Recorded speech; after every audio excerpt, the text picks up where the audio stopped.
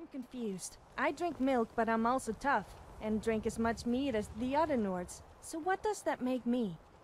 No, Sofia. Just because you drink milk, it doesn't make you a milk drinker. At least within the context of that insult. I thought you, of all people, would know this. But it basically means the person being insulted is a baby. Small, weak, and would cry to just about anything.